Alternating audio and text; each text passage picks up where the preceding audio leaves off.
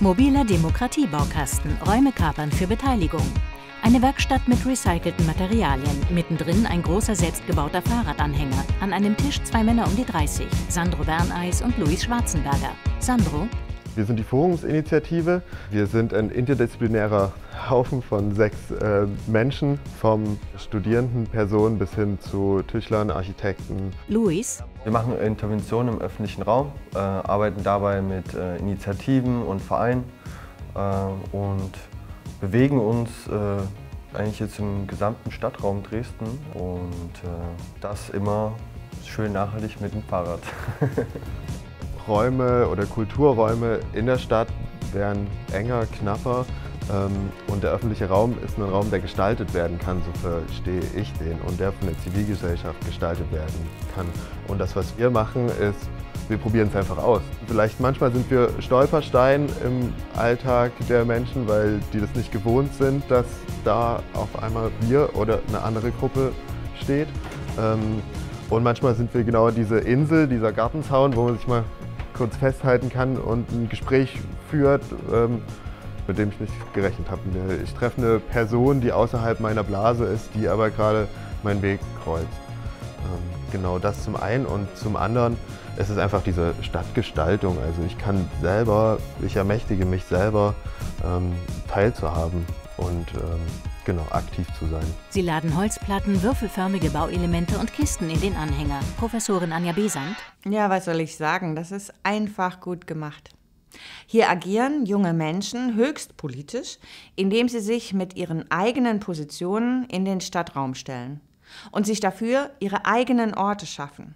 Sie kapern mit ihren positiven Mitmach- und Bewegungsangeboten einfach den öffentlichen Raum und bauen mit den Modulen des Forums wie mit einem Lego-Baukasten je nach Bedarf eine Bar, Sitzgelegenheiten zum Austausch oder einen Infoturm. So entstehen immer unterschiedliche Räume, die für unterschiedliche Themen genutzt werden können.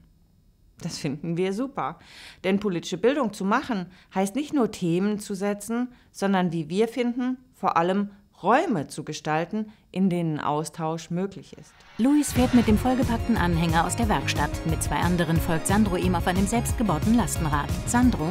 Das Forum ist eine auf dem Lastenradanhänger basierende ähm, Mikroarchitektur aus wiederverwendeten, geretteten Materialien, ähm, die als Werkzeug funktioniert, um dir den öffentlichen Raum anzueignen und äh, deine Themen im öffentlichen Raum zu positionieren. Sie fahren durch einen Park. Wir versuchen die Menschen ähm, zu erreichen oder die zum Nachdenken äh, anzuregen, indem wir mit unserem Hänger im Stadtbild aktiv sind.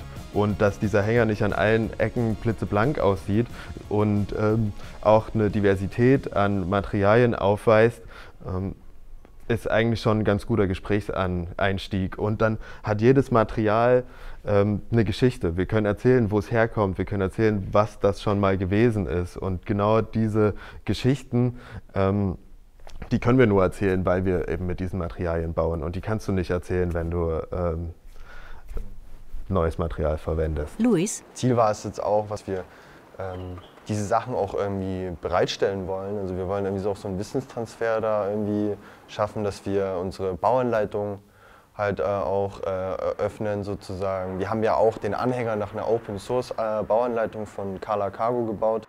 Das, was wir machen an Arbeit, haben wir irgendwie selbst, haben wir uns selbst ein Werkzeug gebaut, aber dieses Werkzeug ist irgendwie dazu da, dass man gemeinsam kollektiv halt Stadt macht. Und deswegen sind auch diese Transparenzsachen halt auch voll wichtig, äh, Comments und das ist, glaube ich, das, was wir auch den Leuten mitgeben. So. Man kann Sachen selber bauen. An einem Platz halten sie an. Besan, TU Dresden. Wir hören hier, dass die wiederverwendeten Materialien Anlässe für Gespräche geben. Auch der Fahrradanhänger, auf dem das Material transportiert wird, hat eine Geschichte und fällt im Stadtbild auf. Was wir hier lernen können, ist, dass sich Kontakt und Begegnung oft an ganz anderen Stellen und zu ganz anderen Themen ergibt, als vorher vielleicht gedacht. Dieses Projekt nutzt zunächst einmal die Irritation, etwas einfach hinzustellen, Orte und Materialien anders zu nutzen. Und was die Menschen bewegt, was sie denken und wie sie handeln möchten, bringen sie selber mit. Das ist wirklich richtig gut. Schließlich sollen Bildungsprozesse von den Teilnehmenden aus entwickelt werden. Sie bauen Bar- und Tischtennisplatte auf. Das Waschbecken, das brauchen wir für die Bar. Unser Ziel ist es, dass wir ein Tool bereitstellen, wo jeder Mensch ähm, die Stadt erkunden, entdecken und seine Themen äh, in die Stadt bringen kann. Also ich denke schon, dass wir einen Teil zur Demokratie und zum Ver Demokratieverständnis, zur Demokratiearbeit beitragen, indem wir ein partizipatives Projekt ähm, initiiert haben, ähm, was im nächsten Schritt uns irgendwie das ermöglicht, unsere Themen auf die Stadt zu tragen, Diskurse anzuregen, ähm, aber auch allen anderen Menschen irgendwie offen steht zu nutzen und äh, sich damit zu äh, positionieren und selber mitzugestalten. Und in dem Moment, wo ich selber mitgestalte, bin ich doch voll drin in der, in, in der Demokratie. Sie reden mit Passanten. Was wir, glaube ich, so fördern, ist so im Kleinen und niedrigschwellig irgendwie Orte der Begegnung und des Austauschs zu schaffen. Also wie so eine Art urbane Insel im äh, Stadtgefüge, wo eben Kooperationen, Initiativen auch deren Themen sichtbar machen sozusagen oder auch erstmal zu den Leuten hinzubringen. Also dass es nicht irgendwo in einem gemieteten Raum ist, äh, im Bürgerbüro oder sonst wo, sondern dass es halt irgendwie auch direkt vor der Haustür stattfinden kann und dass die Leute sich äh, langsam rantrauen können, wenn sie erstmal Vertrauen aufbauen möchten. Und äh, ähm, ich glaube, das ist eigentlich der Bezug, den wir haben, ist äh, wirklich Leute zusammenzubringen und wirklich auch so eine Position zu stärken, wo es darum geht, so Stadtentwicklung von unten zu machen. Also erst wenn man irgendwie sich einen Bezug zu aufbaut, zu seiner um Lebensumfeld, äh, äh, fängt man halt an, so Bindungen zu schaffen, übernimmt man Verantwortung zu dem Ort auch und ich glaube, das zeigen wir ganz gut mit den Aktionen. Wir probieren halt auch einfach Formate aus.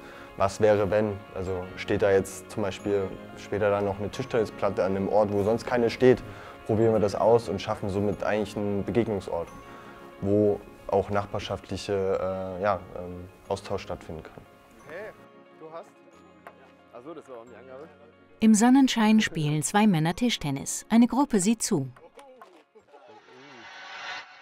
Wir finden das echt super. Denn alle sprechen von aufsuchenden Formaten politischer Bildung und dann ist oft nicht klar, was damit gemeint ist. Wir brauchen mehr Projekte wie dieses. Projekte, die Räume bereitstellen an öffentlichen Orten und überall dort, wo Menschen unterwegs sind und manchmal auch ganz einfach im Vorbeigehen ein Angebot für Aushandlung, Begegnung, Wissensvermittlung oder Beteiligung nutzen können.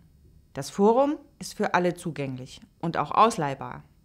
Es eröffnet einen Möglichkeitsraum und genau darum geht es im Rahmen politischer Bildung. Nicht mehr, aber auch nicht weniger. Die Gruppe spielt Rundlauf um die Tischtennisplatte. Ja, mal gucken, also wie das weitergeht. Ich glaube, man musste so ein bisschen eine Kontinuität haben und äh, dass man da auch wirklich für direkten äh, Input oder Output hat, besser gesagt. Ich glaube, dass so an, an den Orten konkret bleibt erstmal keine Veränderung, aber die Personen, die das gesehen haben, haben natürlich die Veränderung des Ortes wahrgenommen und die Möglichkeit wahrgenommen, was an diesem Ort noch sein könnte. Deswegen, ich glaube, die Veränderung ist eher beim Mensch als am Ort, weil wir sind ja temporär irgendwie nur da. Wir ploppen auf und sind wieder weg. Ähm, genau. Aber wenn du das einmal gesehen hast, dann denkst du vielleicht auf einmal in einer ganz anderen Sparte, diesem, ah ja, könnte ich ja auch einfach machen. An der Bar unterhalten sich Leute, in der Ferne Hochhäuser. Ein Megafon auf lavendelfarbenem Grund, in eckigen Sprechblasen davor. Vielen Dank an instagram.com slash for.umwandlung. Weitere Videos unter einfachgutgemacht.judith.de.